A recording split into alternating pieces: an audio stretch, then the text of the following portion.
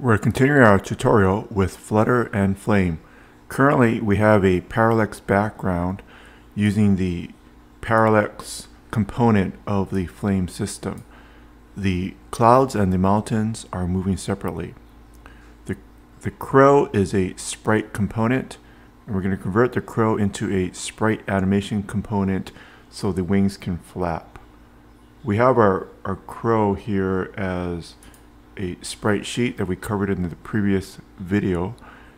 We're just using the first frame. We're going to use the rest of the frames in this tutorial. So let's go into the main .dart file. Currently we're just, everything's in one file. We have our crow game right here. And below that there's the decorator with the onload method. So above the onload method, I'm going to specify a late variable in Dart, sprite animation component, crow.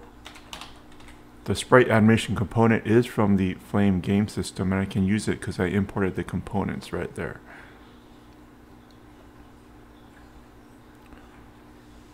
So instead of a sprite component for the crow right here, we're going to have to create a, an animation.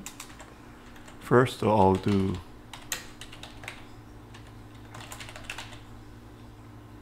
animation. That's a variable that I made up. And I'm going to await, I'm going to load the sprite animation right here. And it requires a path to the file, which is right there. Through 350, it's just another file, 400.png and it's going to require some uh, sprite uh, animation data.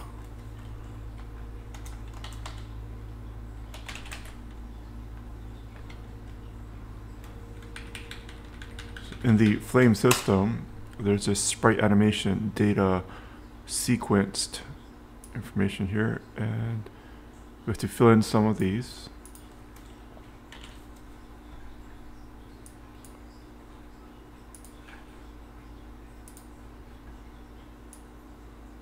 So the first is the amount.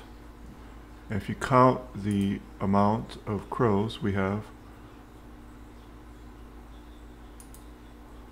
we have 12. So it's 1, 2, 3, 4, 8, and then 12.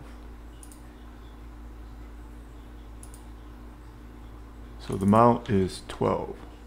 The step time is how fast you want it to flap, uh, maybe through trial and error, uh, step time is 0.1 and the texture size since in the previous video I calculated the texture size at 350 by 400 and that 350 by 400 is simply the size of each cell on the sprite sheet so it's one one of these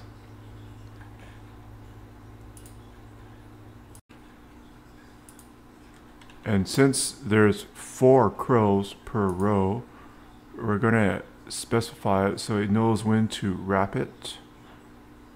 And what's that in here? So it's the amount per row. And there's four crows per row.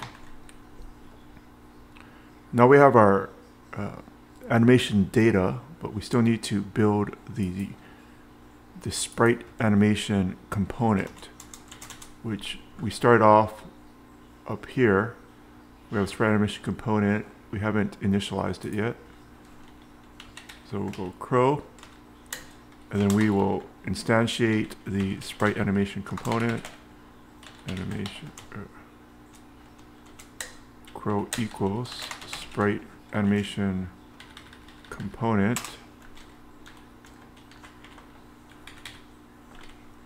And the animation will be the crow animation that we just created right here.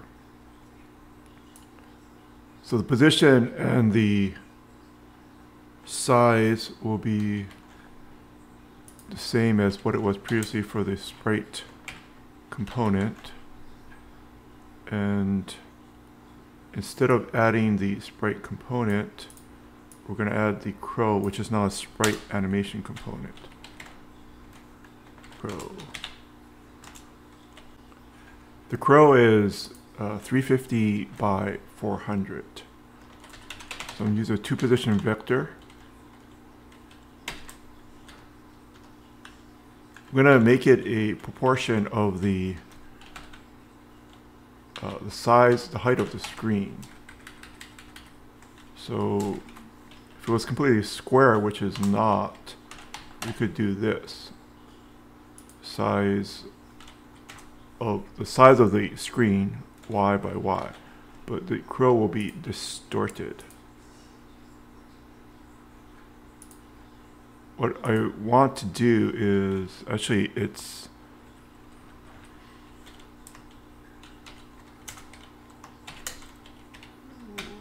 we're going to use the ratio of the height of, the crow to reduce the distortion of the crow.